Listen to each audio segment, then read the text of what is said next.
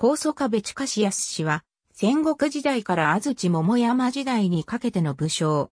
長祖壁氏の家臣。長祖壁国近の三男。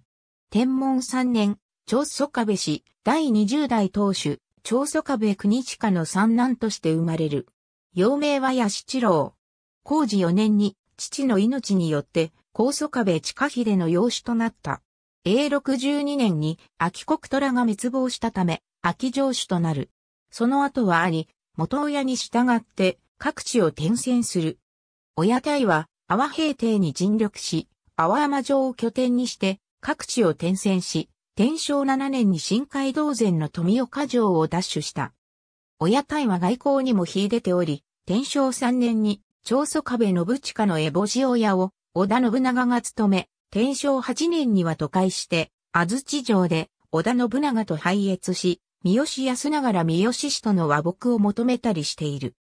天正十年六月の本能寺の変後、中富川の戦いで、東郷有穂を破り、天正十一年には、阿波木津城を攻略するなど、兄の四国統一に尽力した。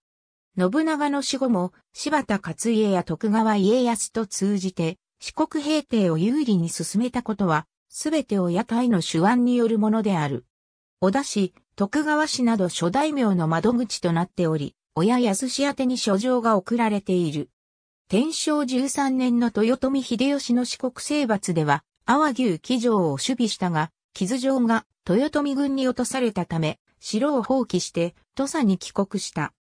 高祖壁近し大母しかし、天正20年、文禄の役に赴く途上にあった、着男、親氏が急死、自身も朝鮮半島に赴く。途上の文禄2年に、長門で兄に先立って急死した。